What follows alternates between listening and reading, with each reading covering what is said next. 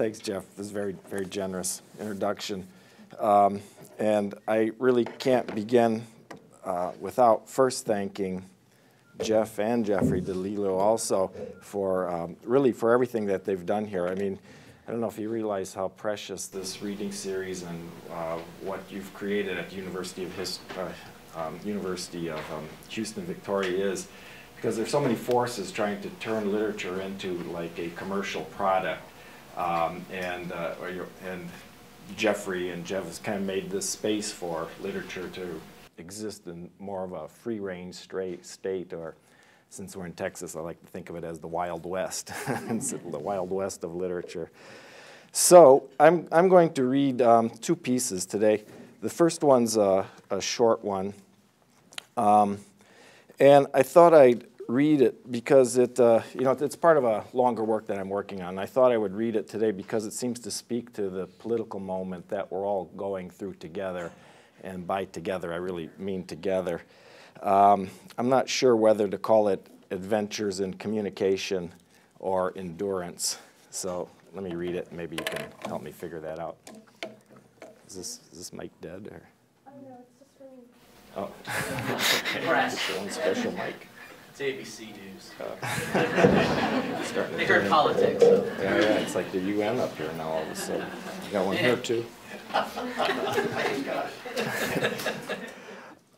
Right after she slammed the door, he received through the mail slot, yes, it was definitely addressed to him, an offer to buy a cemetery plot. Bon voyage, she'd shouted, but not in a warm or friendly way, as at going away parties, or funerals when people console you by saying things like, when you are down, you can only go up. Bon voyage, amigo, actually, even though that also meant, when you are up, you can only go down, as in, he wasn't going anywhere, she was, walking out, as the saying goes. The way amigo can mean friend or jerk, dude or guy. The way guy can mean amigo, dude, or asshole, excuse my French, depending. Just as he was trying to explain to her back, we're just friends. At least he thought she'd said amigo, though through the slam that last part was hard to understand, as when they say, at true north, you can only go south. Would be just like her, though, to say good journey in a tone associated with expletive you, excuse my French, when she was the one leaving, walking out, as the expression goes, mixing signals. Obviously, the converse is true. When you are at true south, you can only go north, though no one ever says that. The way no one ever tells you when you are up, you can only go down, except maybe cemetery plot salesmen. Life is short. Even though everyone thinks it, at least sometimes, pilots, undertakers, shouldn't they be called overtakers? Flight attendants or underputters? Passengers, travelers, all thinking, when you are in an airplane, all roads lead down. Unless the plane is so high it can only go up, like a rocket. But who rides in those? Astronauts, maybe, en route, excuse my French, to the moon, in which case the moon becomes down and Earth up. Half ass backwards was another of her favorite expressions. Ipso facto, when you're at true north, north doesn't exist. Why doesn't anyone say, excuse my Latin? Makes no sense. Someone should have told that to Shackleton. Christ, she sighed the time he pointed that one out. But really, his point being, the adventurer Ernest Shackleton risked his life chasing something that didn't really, really exist. So shoot me, I didn't make the world. Shackleton failing to be the first to reach true north, as if, then failing to be the first to reach true south, as if, set out for the glory of being the first to sail between the two. Kind of ironic how he named his ship Endurance instead of obstinance or sufferance or deluded or resignation, pigheadedness or stubbornness. 60 miles from the South Pole, he made the decision to push on into thick floes where his ship became trapped in ice. Houston, we have a problem here, as the saying goes, though of course Shackleton probably didn't say that at the time. The saying coming from Apollo 13. Now there's a number en route, excuse my French, to the moon when someone screwed up and two poles of a battery actually did touch, sparking an explosion that left them unable to get either up or down or down or up, depending.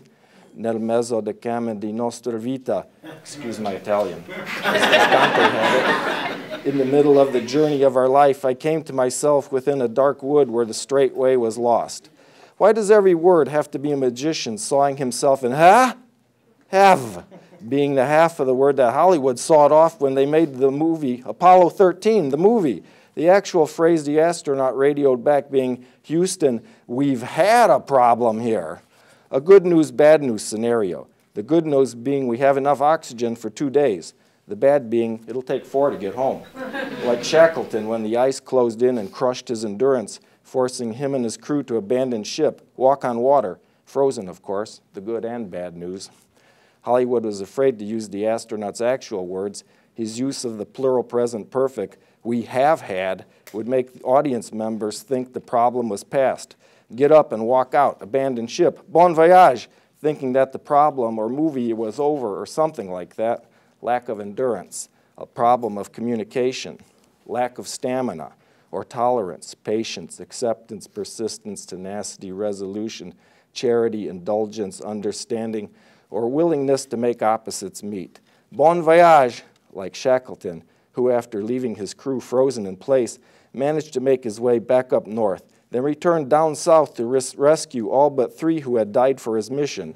Sorry, old chap for which he was hailed as a hero both up below and down above, back then and now, in the book Shackleton's Way Leadership Lessons from the Great Antarctic Explorer, a model for corporate executives, or indeed, friends or amigos or anyone trying to follow, lead, communicate, or just get along and live, when all, as when all three of the Apollo 13 astronauts decided to quit bickering, stop nitpicking, or finger pointing. Let's stow the blame game and instead work together, see it through. Can't walk out, get it done, get along, hold your breath, gut it out, live together, and manage to return to Earth alive and healthy.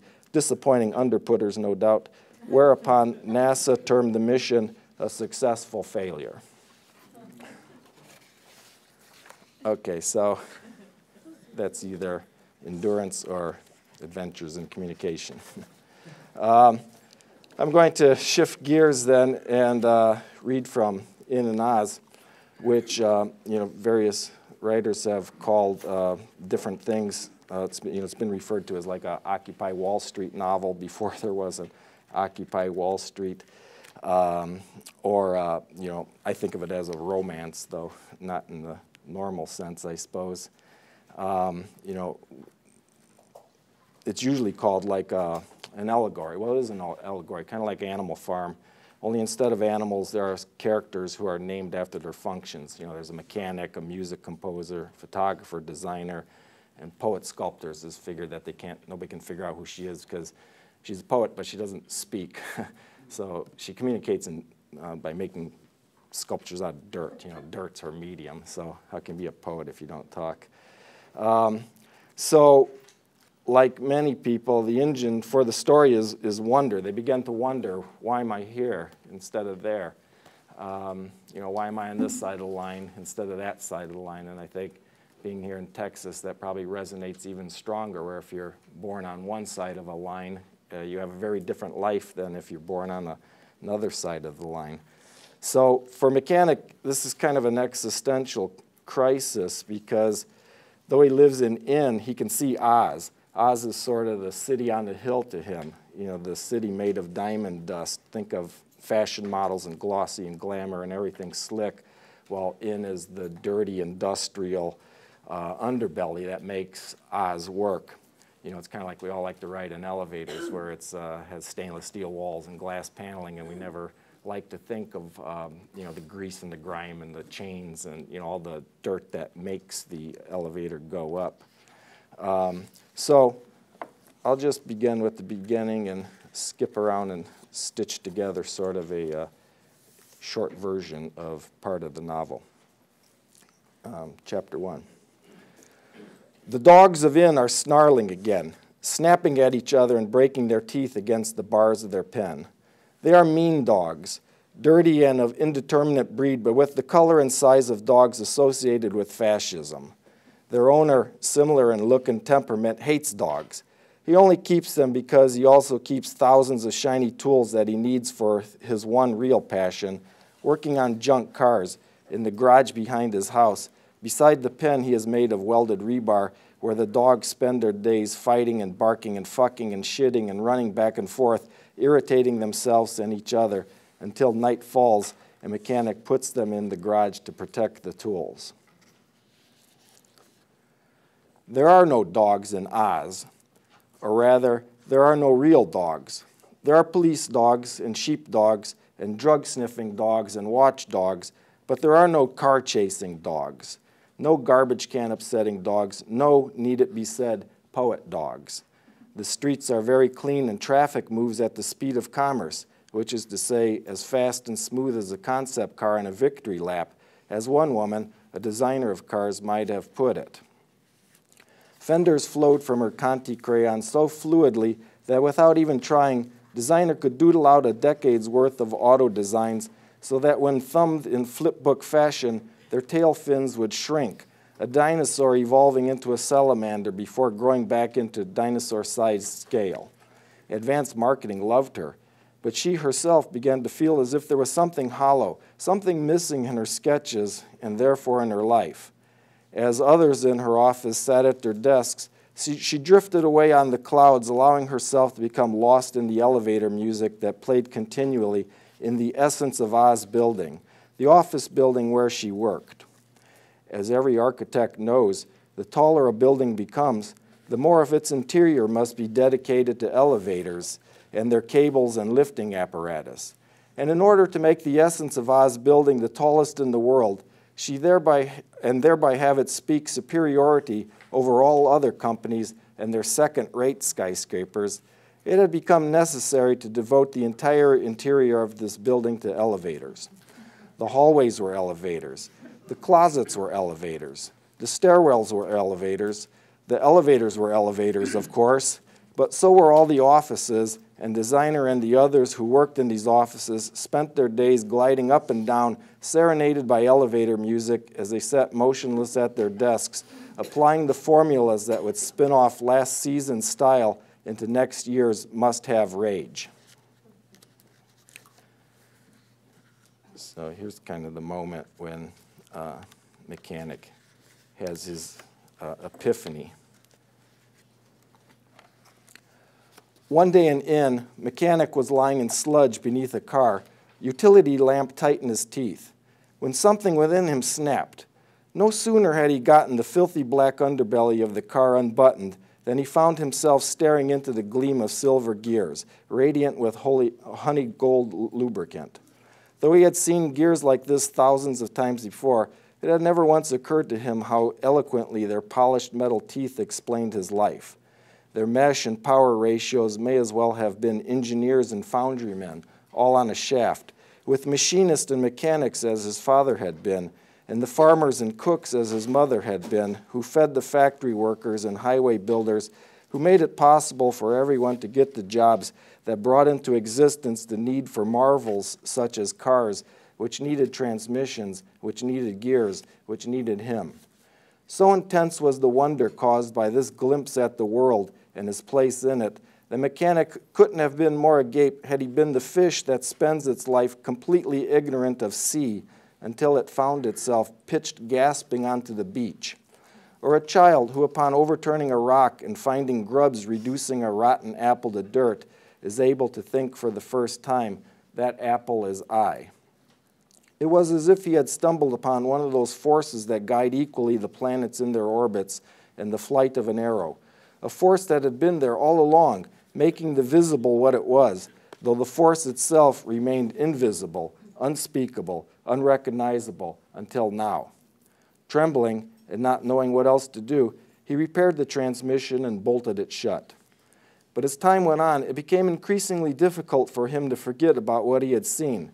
Standing before customers who tried to describe the vapor lock, lock plaguing their cars by making a hacking cough or customers who, with the erudition of medieval peasants on the topic of thermodynamics, explained to mechanic the symptoms of a slack timing chain by imitating a spastic tick, he came to understand that the ignorant sought him out not for enlightenment, but solely to make the profound inner workings of auto invisible, to fix whatever rattle or misfire or stall it was that had brought some offending fuel pump or brake drum or other mechanism before him so that he could return it to the dark and they could go on being fish who wouldn't think about the sea until it broke again.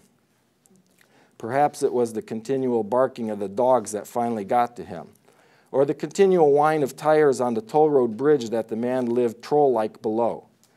The neighbors blamed it on the strain he had been on during the prolonged dying of first his father, then his mother, both from the unrelenting ugliness of the steel mills and oil refineries and the endless barrel and crate and gunpowder and acetylene factories that permeated in and so permeated its citizen employees, filling first their souls, then their lungs with a rust colored stain.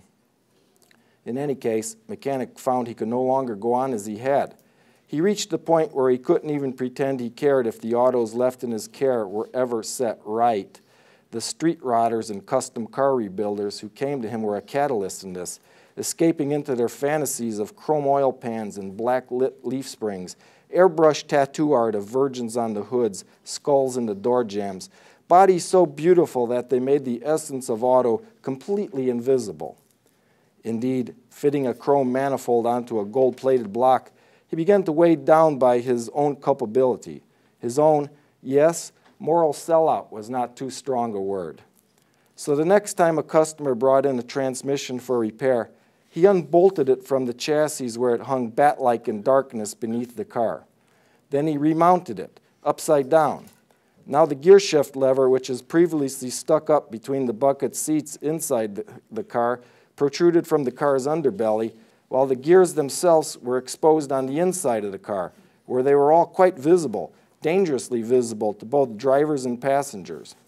What the hell? shouted the owner of the car upon his return. Their argument ended with Mechanic throwing his customer out, keys after, the man's oaths to bring lawyers raining down, confused by the wild snarling of the dogs, flinging themselves against their pen to get at him. Um, I'll, I'm going to skip ahead a bit then. Uh, the other artists in the book think that what he's doing is um, kind of cool. you think of him like destroying these cars as sort of performance art, but uh, he doesn't think of it that way at all. He just wants to people to see how things um, work. So, um, poet sculptor, you know, the poet who doesn't speak develops a crush on him as the story goes on, but he only has designs or eyes for designer, you know, the woman who draws the sleek bodies of the automobiles that he's been mangling. Um, and as you can guess, after he begins making repairs like this, uh, mechanic's business falls off dramatically and he's forced to take a job um, on the toll booth that he lives underneath. Uh, maybe just one other little side note just to uh, fill it in. Um, here I thought I wasn't going to be using any pictures today, but here's one. The uh, meantime, there's this sort of uh, war going on between the poets in the book and the um, ad write writers. Um, they're trying to um, eliminate billboards, you know, the poets are, because they just see writing ads on billboards as this kind of like, you know, like, like those slogan writers are just prostitutes with words, sort of, while the um, ad writers think that the poets do nothing but create static, verbal static that gets in the way of commerce. So there's this, um, um, you know, they're, they're waging this political campaign by taking out space on billboards against each other. uh, so that, that's kind of a backstory here. Um,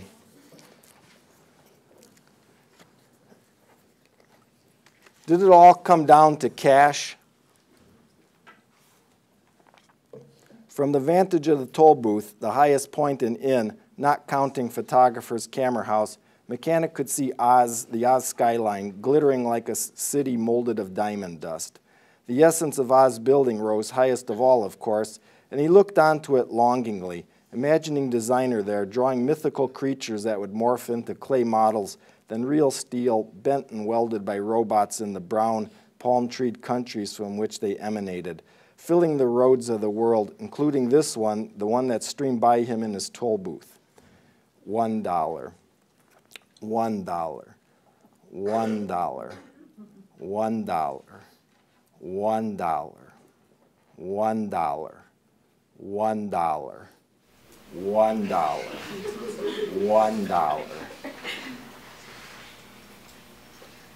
one dollar,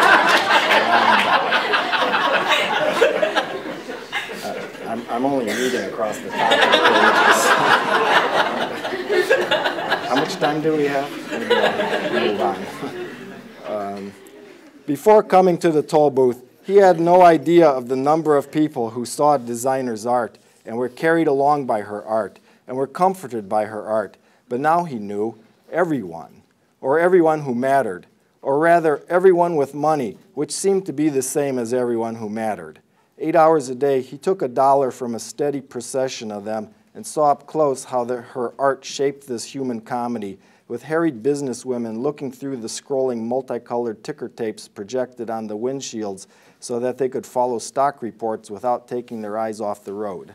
Or the drowsy, gently guided into the narrow lane of his booth by technology developed for the nose cone of missiles or lovers nestled within velvet clouds that had once been a dream in designer's mind, while mobsters didn't have to lift a pinky ring finger to yell into cell phones that she, following the infinite wisdom of the market, had wisely drawn into their dashboards. When the power window of one car automatically lowered itself so that its driver could pay his toll, Bedouin flute music and the scent of jasmine rolled out from his private harem that was a mosh pit to the next driver, hard-pounding techno trance socking out from her pugilistic sound system. These and a thousand other drivers passed by his booth, the other joy they took from her art, if it wasn't as invisible to them as their very breath, telling him how utterly uninterested they would be in the stuff of his art. Some didn't even bother to hide the disgust they felt toward him for breaking the dream of driving as he did, being there as he was to take their toll. One dollar one dollar, one dollar. Hand out, dollar in. Hand out, dollar in.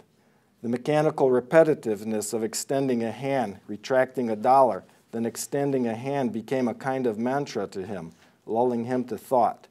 He had a lot to think about. Soon he would finally finish the hydraulic bouquet that he'd been constructing for designer and thought of the moment when he would actually give it to her and it filled him with dread. She was so big, such an influential artist, while he was what? One dollar. a fool for thinking what she had did and what he could do or what he did could ever be married. One dollar. One dollar. One dollar. Photographer and composer might say it didn't matter, especially photographer, but deep down, with the world voting in dollars, and voting for her and her invisible cars, only a true fool would not have doubts. One dollar. One dollar. A horrid thought suddenly brought him up by the short hairs. What if a person could only see what he had seen by crawling under a car to see it? As if summoned by fate to illustrate what he was thinking, he spotted a figure far below at the base of the hill laboring to push a bicycle up its steep grade? What if crawling through sludge, exhaling to collapse your chest so that you could squeeze into the narrow space afforded by a jack, was the only way to see it, he thought, watching her. He could tell that it was definitely a her, pushing her bike up a hill that made walking easier than pedaling. Cars whizzed past, honking their horns as angrily at her as they honked at him in his car. Maybe if designer found a way to bring what he saw out into the light for everyone, he could see something, but it wouldn't be it, the possibility made him shudder. Then he held his breath. As the bicyclist neared, he could see that it was poet sculptor. He could also see that she was pushing her bicycle. Unlike modern Oz bikes with their featherweight construction and delicate derailleurs that made pedaling uphill easy, her bike seemed to have been designed by a boiler company. Its brown primer colored frame had the rigidity and heaviness of the bridge, bridge's girders and, making it, and made easy, easing it into the line of cars waiting to pay their toll awkward for her. One dollar. One dollar. She moved in the line a little closer. Perspiration painted big oval stains on the underarms of her work shirt, its sleeves rolled up and revealing sinewy forearms. She had used duct tape to make a bicycle cuff on one leg of her standard factory uniform trousers. One dollar. One dollar. Then she was close enough for him to see strands of hair matted on her forehead, brush marks in the paint of her bicycle, her bicycle obviously having been painted by hand with leftover house paint. Hello, he said as she came up to his booth. She smiled, nodded her hello back, breathing hard to catch her breath, her face flushed, her flat chest huffing. She was radiant from the exertion. He hadn't noticed how beautiful she was till the work of climbing the hill pointed it out. One dollar, please, he said. She dug around in the mouth of a homemade metal purse that looked like a fish. Its scales were overlapping flattened bottle caps. One, two, three, four.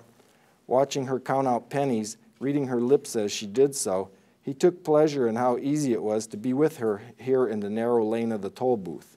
How easy it was to talk to her, to understand her, the constraints of the toll booth transaction keeping their conversation from bleeding all over into topics with no bounds, or the messy groping about that troubled mechanic in most other conversations, where you could never really tell what was truly being said or what the other person really wanted.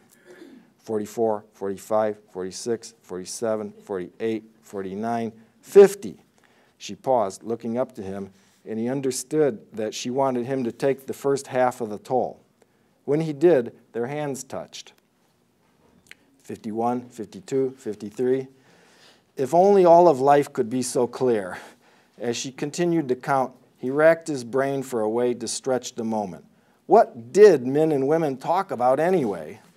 79, 80, 81. Politics. Uh, I, I'm sorry about the vote, he stammered. The dismissive shrug he received in reply froze his heart. Leading up to the referendum on limiting billboard space, the campaign had grown more intense with each side pushing the envelope of billboarding while language did what language always does, and some of the anti-billboardistas began to appreciate writing on pages that were 20 feet high. To these poor fallible men and women who had never had an audience other than themselves, photographer had explained the thousands of motorists who streamed by and read their words. Their words was intoxicating beyond bearability. In secret, they had begun to work against the limitation of billboards, a form of censorship. Some of the pro-billboardists, on the other hand, began to loathe the increasing difficulty they had in cutting through the poetic static, as they called it, with the poetry of their products. Secretly, they began to work to limit the number of billboards. That is, some of the anti became de facto pro, and some pro became de facto anti billboarders, and in the end, voters decided by referendum to freeze the number of billboards at their new elevated level, which half of the pro billboarders took as defeat and half of the anti billboarders took as defeat, and half of the pro billboarders took as victory, and half of the anti billboarders took as victory, though it was impossible to tell which half was which. had he insulted her? I mean, I'm glad, he blurted. Why had he stepped outside of the easy give and take of the toll booth? Again, she only shrugged, exactly as before, and finished counting out pennies from her fish purse. I mean, I mean, I'd like to see some of your poetry one day. She paused, giving him a wry, or maybe it was a condescending smile. I mean, your sculpture? Her head cocked like a dog hearing an odd squeal. I mean, your dirt. She placed the second 50 coins in his hand. Their hands touched again, hers lingering this time. Or was it just his imagination? The moment seemed to stop during which every detail was so vivid it made him ache.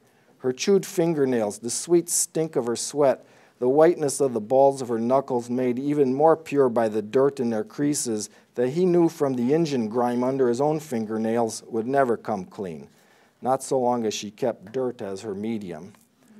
The driver of the next car honked impatiently. Then her sinewy hands were taking up the grips of her handlebars.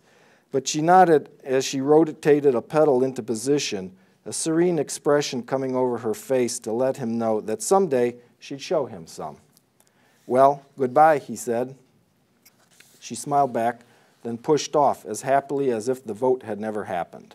A moment later, he saw her kick her legs out from each side of her bike as she allowed the gravity of the hill to speed her along, coasting, the wind whipping her shirt tail as the bicycle picked up speed her arms suddenly shooting up into a victory V as well. How did she do it, he wondered? How did she manage to float above it all? No more concerned by votes or cash or even whether people walked all over the dirt of the earth, not giving a shit whether or not it was her art. For a long time afterwards, he replayed in his mind vi that vision of her coasting downhill, picking up speed, the wind whipping the tails of her work shirt as he tried to puzzle out the secret and why, even if he could, it wouldn't work for him.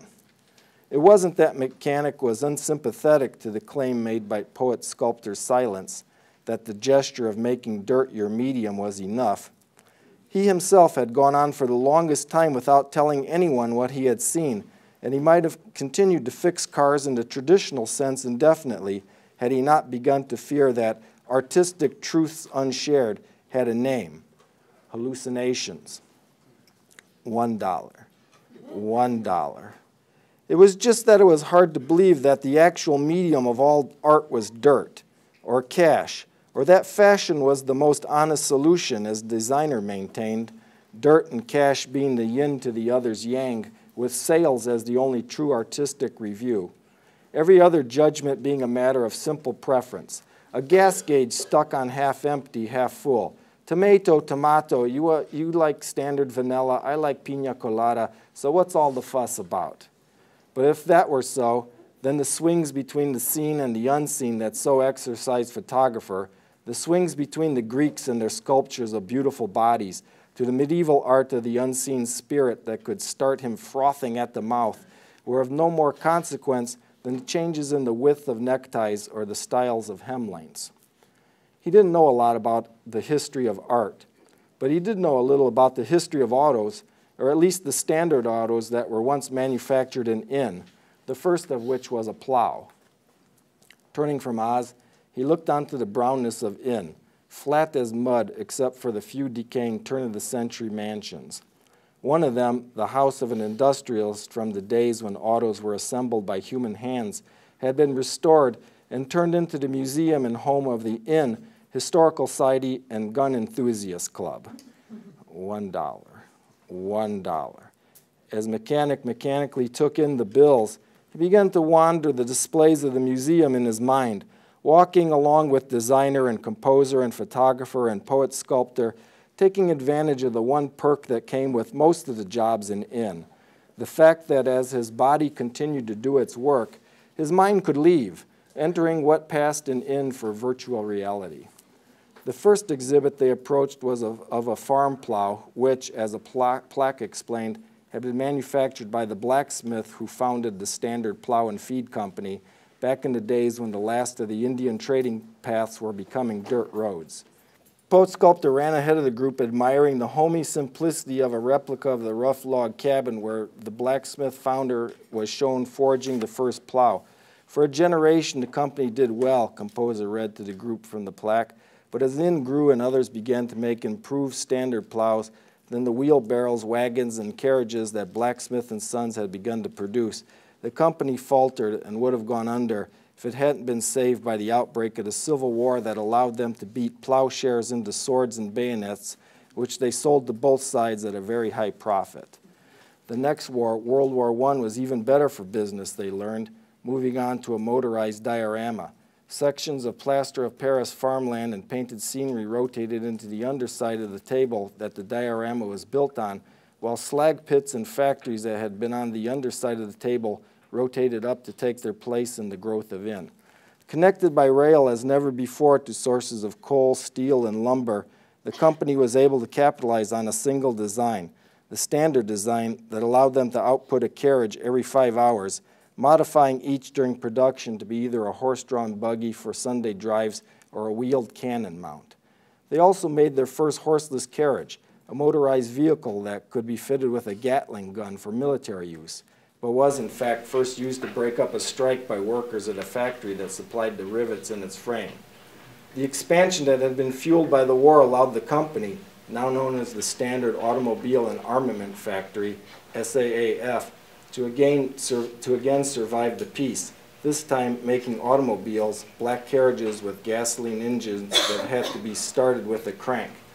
It was during this period that the mansion had been built, the great-great-grandsons of the original blacksmith having grown so very rich and powerful that once a president even spent the night in their mansion. A third shift had been added and production ran night and day. By this time, the shifts of SAAF were a kind of nature to the people of In, the factory whistle marking the rising and setting of their sons, who grew up to become their fathers on its assembly line, the photographer pointed out that this history was not so evident in the history of In that was written in the sheets of metal they forged. A history that ran from the black carriages to the sedans with running boards for gangsters to stand on, to the amphibious troop carriers and rocket launchers of World War II, then the tail fins and flamboyant hood ornaments when times were good, which fell away as times grew lean and the expected World War III remained forever just beyond the horizon. Tours through the Historical Society and Gun Club always ended up on the top floor of the mansion, the ballroom. There, he composer, poet, sculptor, photographer, designer, and the other visitors were invited to imagine and mourn the passing of the fabulous parties that were once held there. The ballroom situated so that the picture window at one end looked out onto the future that would become Oz, while the picture window at the opposite end had been aligned to give a clear view of the factory's main smokestack, rising like a brick phallus from the abandoned workhouses, slag heaps and assembly lines below. A still living monument, the guide said, to the family's wealth, power, birthright, and legacy. One dollar. One dollar. If he ever rubbed a headlamp, Mechanic thought, and a genie appeared to grant him three wishes, he would ask of the genie the answer to three questions. Question one, life. Question two, death. Question three, stuff. Question three, stuff. Question three, stuff. Thanks.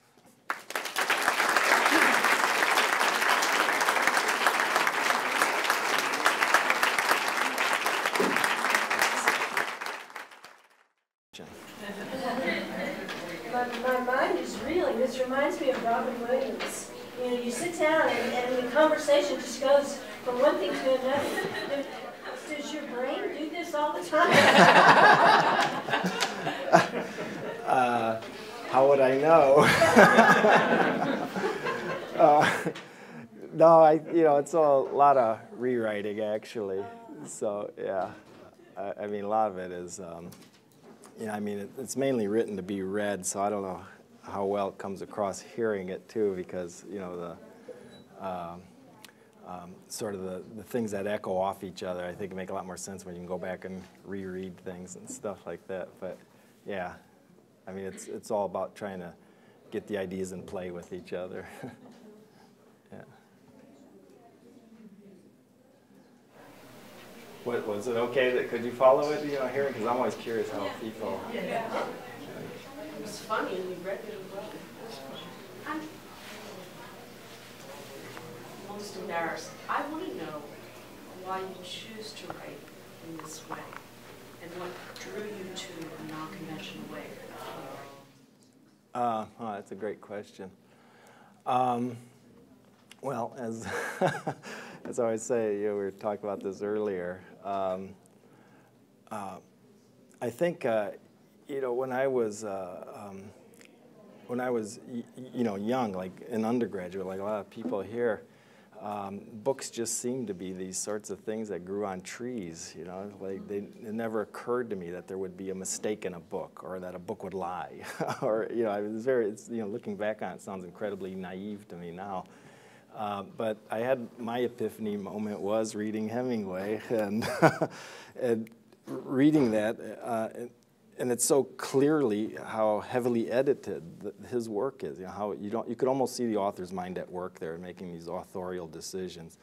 You know, like um, you know, like people talk about Hemingway's naturalism, but you know, nobody speaks that way in that book. Or you know, same thing like with Shakespeare. Nobody nobody talks like Shakespeare unless you're you know, a rap star or something. I mean, for God, you know, the, the lines rhyme a lot of time. So, uh, and yet people talk about Shakespeare's naturalism. Uh, so you know, this picture started to form to me in terms of how these things are made by people to start with, and they're constructed by people, and they're just as you would build a building um, or uh, you know, weld together some kind of sculpture, you would make a book, only you're making it out of words instead of some other material. So, so I guess um, trying to bring that aspect to the surface of the work is one of the things that interested me really well. Instead, you know, a lot of times novels get talked about as if they're this dream that readers inhabit. You know, they're kind of like a form of escapism. And, and I always have wanted, um, you know, my books anyway, to um, remind the reader that they are reading these constructed things, you know, to kind of be aware of it or to be uh, wary of it, I guess. And so, um, so the real subject always, or part of the subject for me has always been the way that language kind of shapes our reality, I guess. Uh, and that's partly what I think all of my novels are always about that, no matter what else there, there might be about.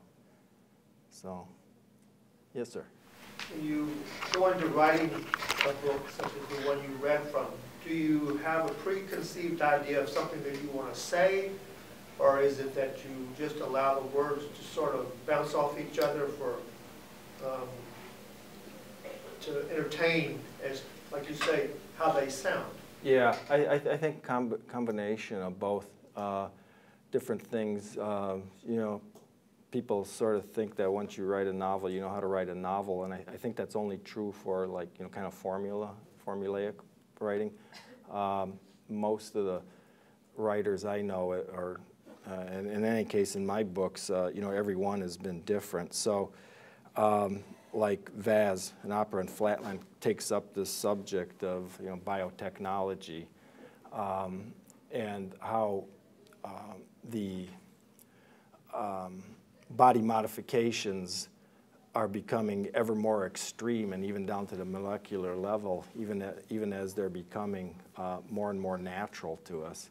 So kind of like what I was saying about elevators and in and Oz, you know, we, we're, we're tuned to the surface and we don't see the, the underbelly of that ever. Uh, so that, that was sort of the um, motive, motive for that book, but it kind of you know, evolved through the process of it. Um, one of the things that happened was while I was um, working on that book, and I was reading a lot of the kind of um, writings about eugenics at the time, uh, you know, like, um, uh, oh, you know, the, the, Nazis get demonized a lot, you know, rightfully so, because they were trying to, they brought political power to this idea of how do you make a, a pure race. But uh, sort of the part that gets lost in that conversation is this idea that um, um, almost all the industrialized nations were thinking in those terms whether it be through immigration restrictions or getting rid of undesirables. You know, they're all very much worried about their gene pool being diluted.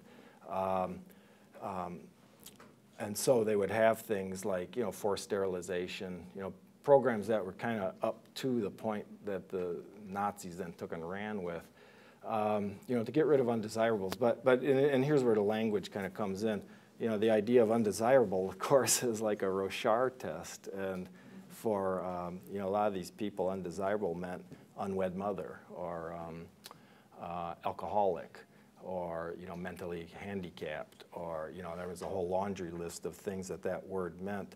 Um, so uh, that, that's kind of the moment where I see, you know, the intersection of language and, you know, the world outside of language inter, uh, intersecting. Um, you know, the, in fact, like the Nazis, when they were looking for a legal way to begin eliminating undesirables, they adopted an Indiana law to do it. It was called the Indiana Ideal. But, uh, you know, by kind of, like I say, demonizing Hitler and all that, we sort of forget about how common that kind of thinking was throughout of us. So that, that you know, that, that's the interplay between the two there. With, within an Oz, it was uh, completely different. It was, um, um, kind of my toy that I would get out and play with when I got to uh, depressed writing VAS or uh, uh, you know got stuck or you know just needed a break from it or something like that. So so you know it's a really different sort of chances, I guess. if that answers what you're thinking. No, I was just sort of curious to know what it was you wanted to say. Yeah. Yeah. This, this book is uh, uh, probably, I don't really write autobiographically, but uh, this book is probably the more autobiographic for me anyway. Um, you know, it's set in Chicago where I'm from, and I don't, like all these places have um, uh, specific kind of references in my mind. I mean, I'm writing about real places, even though I'm writing them in this allegorical way. So, uh, you know, all these things in here are, do exist, like the river that had so many chemicals on it that it would catch on fire. And, uh, there, there, you know, there's an af, the- there's an afterword in the back of the book where, you know, the interviewer was asking me about that, and, you know, I, I think that was, that's one of those moments for me where, when I was young and you see the river catch on fire and the fire department come out there, start spraying it with their hoses, and, you know, just, it's hilarious in a certain sense. It looks like some, uh, Buster Keaton movie or something, but at the same time, it's real philosophical, you know, makes you think, and so, Is yeah. this pre, pre-fracking or? No, yeah, completely. This is just, you know, refineries and whatnot. Are we, are we, uh, we gotta move about- on. Yeah, it's about one o'clock, so let's thank, uh, please thank Julie.